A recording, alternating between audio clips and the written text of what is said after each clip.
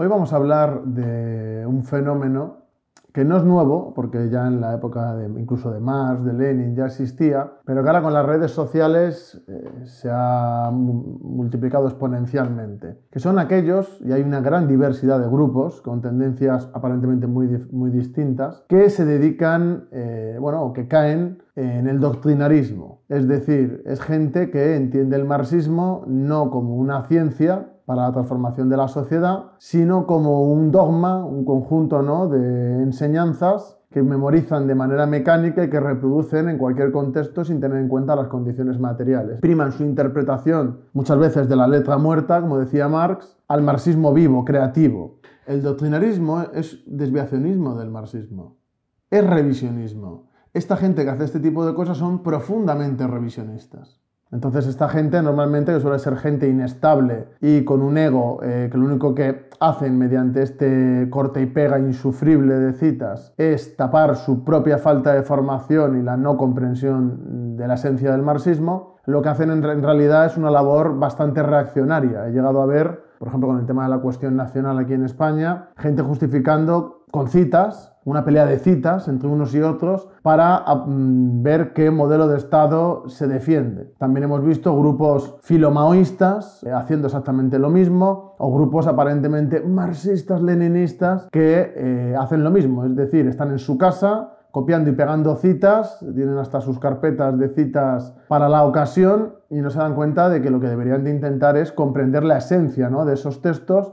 traerlos a hoy en día y aplicarlo a nuestras condiciones materiales y trabajar para enriquecer eso. Obviamente, para nosotros no existe teoría sin práctica, ni, ni, viceversa. Dedicarse a la práctica sin teoría es un suicidio y dedicarse a hacer teoría sin práctica es estar jugando a, a ser como los curas en un convento, bueno, ni siquiera, porque los curas hacían cosas en la Edad Media, si me estoy refiriendo a ese tipo de conventos, estos ni siquiera hacen eso. Entonces lo único que tienen es un nivel bajísimo en general. Son gente que se, bueno, no se disfraza, se oculta detrás de esas citas, intenta con la autoridad de la persona que ha escrito eso, intentar hacer creer que él tiene la misma autoridad o que está haciendo lo mismo. Cuando esas personas, cuando citan a Marx, a Lenin, etcétera, deberían de entender que ellos hacían teoría y práctica y que un comunista que se dedica solo a teorizar, pero no ya teorizar para la construcción de algo, sino teorizar eh, a ver quién sabe más citas, es cuanto menos muy patético. Luego toda esta gente se desmontan unos a otros, enseguida, oh, hemos desmontado a no sé quién, oh, hemos dejado por los suelos.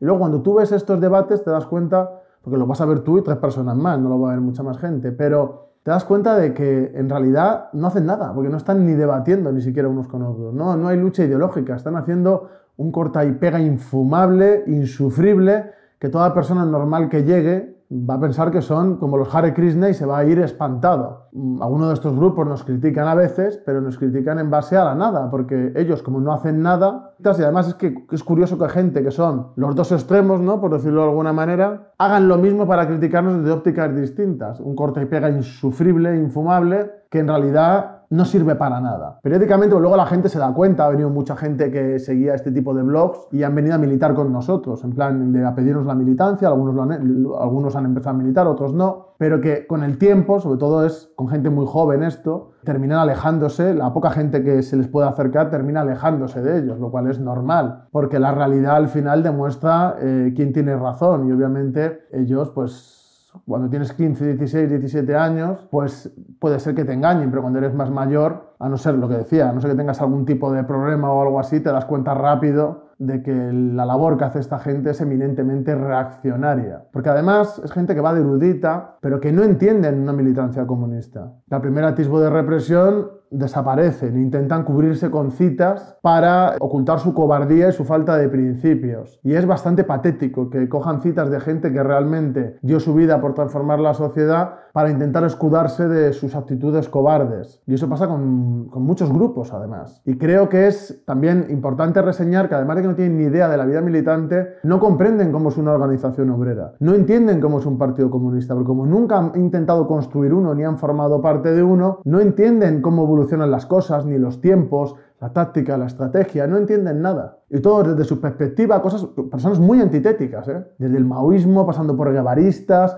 pasando por marxista-leninista, eh, pasando por cualquier tipo de óptica, prácticamente hay gente así. Son pocas, poca gente. Y son pocos grupos, casi tantos como personas, porque es así de, triste. Pero esta gente no entiende, no entiende lo que es un partido, lo que es luchar por la transformación de la sociedad, no saben nada. Solo saben de citas, de, de manipularlas y de verter ¿no? esa basura que crean, que es un copia-pega infumable, ya lo he dicho, que lo único que hace es confundir a la poca gente que pueda acercarse a ellos. Por lo tanto, es importante, desde nuestro punto de vista, confrontar con ellos, tanto en la teoría como en la práctica. Hay algunos grupos que se enfadan, porque a veces hablo de ellos, y no los nombro. Pero claro, yo quiero refutar la idea. Una persona que es inexistente, o sea, inexistente en el sentido que nadie la conoce, no le voy a dar yo la posibilidad de que gracias a mi trabajo eh, hacer que ellos suban. O sea, eso, eso es una locura. ¿Desde cuándo yo voy a tener que darle soporte a gente que no vale para nada y que soy yo el que les va a hacer conocidos? Pues ellos aprovecharán porque pondrán mi nombre, dirán no sé qué. Yo lo entiendo. Yo entiendo que la envidia es muy mala